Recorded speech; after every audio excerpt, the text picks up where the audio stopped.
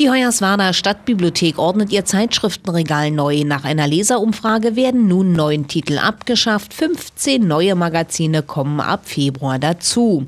Unter anderem gibt es künftig dann Audio, Video, Foto, Chefkoch, Landapotheke oder auch die Angelzeitung Der Blinker. Insgesamt hat die Bibliothek 60 Illustrierte im Angebot.